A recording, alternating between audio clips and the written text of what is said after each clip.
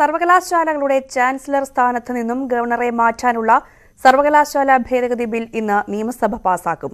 Subject committee പരിഗണനയ്ക്ക് ശേഷമാണ് bill ഇന്ന് വീണ്ടും സഭയിലെത്തുന്നത്. ബില്ലിനെ പ്രതിപക്ഷം എതിർക്കും. ബിൽ പാസാക്കി സഭ ഇന്ന് പിരിയും. വിശദാംശങ്ങളുമായി എം ജി മിഥുനാണ് ചേരുന്നത്. മിഥുൻ എന്തായാലും ബില്ലിന്ന് സഭ പാസാക്കും. എങ്ങനെയായിരിക്കും സഭയിലെ നടപടിക്രമങ്ങൾ ഇന്ന്?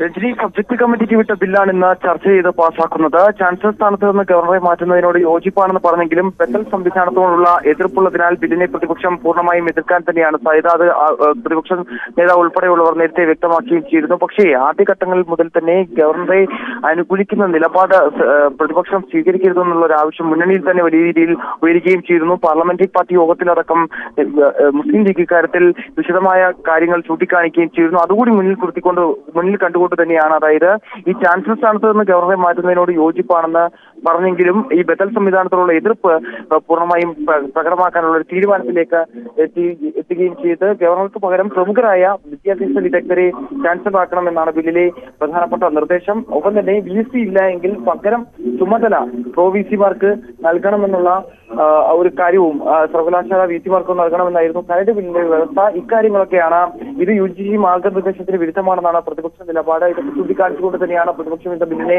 പ്രധാനമായും എതിർക്കാൻ നീക്കം നടത്തുന്നത്. കൂടാതെ തന്നെ ബില്ല് നിയമസഭ പാസാക്കിയാലും ഇത് ഗവർണർക്ക് മുന്നിലേക്ക് എത്തുമ്പോൾ ഗവർണർ ഈ ബില്ലിൽ ഒപ്പിടില്ല എന്നുള്ള നിലപാട് നേരത്തെ തന്നെ വ്യക്തമാക്കുകയും ചെയ്തിരുന്നു. കൂടാതെ തന്നെ കഴിഞ്ഞ ദിവസം ഗവർണർ വിളിച്ചു ചേർത്ത ഈ സർക്കാർ ബില്ലിൽ മുഖ്യമന്ത്രി മന്ത്രിമാർ പങ്കെടുക്കില്ല എന്നുള്ള ഉറച്ച നിലപാട് സ്വീകരിച്ചതോടുകൂടി സംസ്ഥാന സർക്കാർ സർക്കാരും ഗവർണറും തമ്മിലുള്ള പോരുവിന് പോരിന് അയവ് വരുന്നില്ല എന്നുള്ള സൂചന കൂടി തന്നെയാണ് ഇതിലൂടെ നൽകുന്നത്. അതിനുള്ള ഏറ്റവും ഒടുവിലത്തെ ഉദാഹരണം കൂടിയായി നമുക്കതിനെ കണക്കിലാക്കാനും സാധിക്കുകയും ചെയ്യും. അങ്ങനെയെങ്കിൽ ഇന്ന് ഈ നിയമസഭ ഈ ബില്ല് പാസ്സാക്കിയതിനു ശേഷം ഇത് ഗവർണർക്ക് മുന്നിലേക്ക് വരുമ്പോൾ ഗവർണർ എന്ത് നിലപാട് സ്വീകരിക്കുമെന്നുള്ളതാണ് ഏവരും ഉറ്റുനോക്കുന്നത്. കൂടാതെ തന്നെ ഈ ബില്ല് നേരത്തെ അദ്ദേഹം വ്യക്തമാക്കിയതുപോലെ തന്നെ ഇതുമായി ബന്ധപ്പെട്ടുള്ള കാര്യത്തിൽ ഒപ്പിടേണ്ടത് തന്റെ താനാണ്. അത് അതിനുള്ള അധികാരം ഗവർണർ എന്ന നിലയിൽ തനിക്കാണുള്ളത്. കൂടാതെ തന്നെ അത് തുടർന്ന് തുടർ നടപടികളിലേക്ക് കടക്കാനടക്കം ഗവർണർക്ക് ഗവർണറുടെ ഭാഗത്തു നീക്കം ഉണ്ടാകുമെന്നാണ് നമുക്ക് മനസ്സിലാക്കാൻ സാധിക്കുന്നത്. അങ്ങനെയെങ്കിൽ നിയമപരമായ നടപടികളിലേക്ക് അടക്കം സംസ്ഥാന സർക്കാർ പോകുമെന്നുള്ള കാര്യത്തിൽ സംശയമില്ല. എന്തായാലും ഇന്ന് ഈ